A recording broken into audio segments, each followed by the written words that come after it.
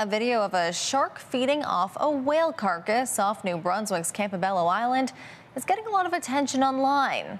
Paul Keller, who was on the island vacationing, spotted the commotion in the water last week.